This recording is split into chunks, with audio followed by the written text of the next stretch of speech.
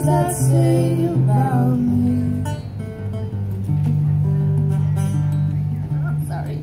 Oh, how could I dream of such a selfless true?